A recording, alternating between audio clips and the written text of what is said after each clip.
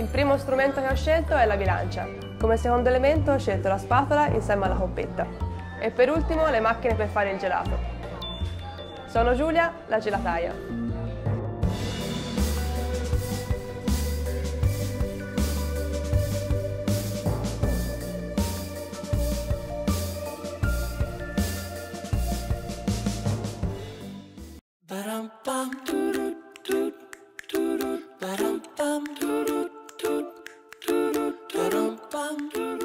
Ho scelto la bilancia perché fa parte del mio uso quotidiano nel lavoro, la utilizzo per eh, dosare gli ingredienti perché la giusta proporzione degli ingredienti si riflette nel, nel prodotto finale che è il gelato. Ho scelto la spatola insieme alla coppetta perché sono i due elementi principali del servizio al banco. Ho scelto la coppetta perché per nostra tradizione serviamo il gelato solo nella coppetta e non serviamo i coni. Ovviamente per fare il gelato servono dei macchinari, nel nostro laboratorio ne abbiamo ben 5 e le utilizziamo in maniera differente a seconda del gusto che dobbiamo produrre.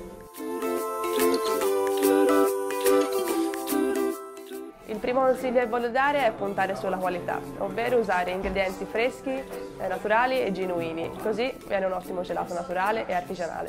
Noi non usiamo stabilizzanti, additivi e emulsionanti e questo fa sì che nel nostro gelato eh, si sente molto la differenza e è molto più naturale e genuino. E il cliente sente sicuramente la differenza nel gusto, ad esempio il sorbetto di fragola sa veramente di fragola o la crema eh, sa di uova e latte. Un altro consiglio che voglio dare è quello di essere creativi.